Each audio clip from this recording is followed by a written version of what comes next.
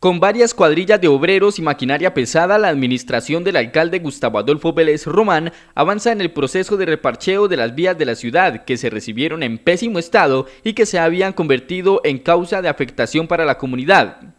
En la carrera 28 entre calles 29 y 34 los trabajadores están cortando y demoliendo el pavimento para entrar a compactar el material granular y dejar listos estos tramos con el propósito de volver a asfaltar, trabajos de excavación que se realizan con los requerimientos técnicos que garanticen durabilidad.